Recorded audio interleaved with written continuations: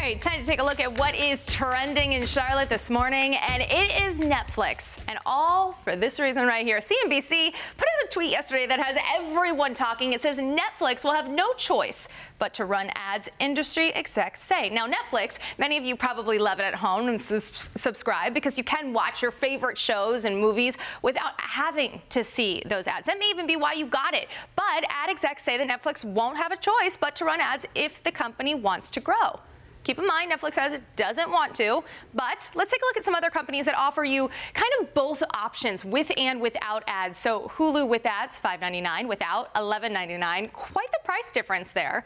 CBS with ads, $5.99, CBS without ads, $9.99. So what we want to know this morning is will you still subscribe to Netflix if you do have to watch with those pesky and annoying ads for them to stay in business. So let's take a look at what people are saying online this morning. We've been watching your comments, and the prices have already gone up on Netflix. If they continue to go up with ads, I'm not sure I'm going to stick around unless there's more of an incentive. So, what will Netflix do to kind of combat that whole price change? They grow or die. That's the mentality and exactly what is wrong with the, the capitalism right now of these current companies. A lot of people are very opinionated about this, guys. Nobody likes their Netflix to be messed with. And will they be rolling back prices? If not, then buy.